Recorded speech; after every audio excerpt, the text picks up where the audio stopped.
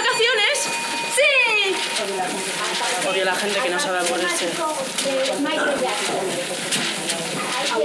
cuanto tiene principio merece ser eliminado. Estoy cansada de ser una semilla. No puedo crecer si alguien no me ve. Inscribe a su bebé en un concurso de belleza antes de Oye, si me lo dejo liso, estoy pensando en hacerme una permanente. Odio a la gente que no sabe poner. Yo me tengo que hacer mechas. ¿Te parece? Dicen que nada es permanente.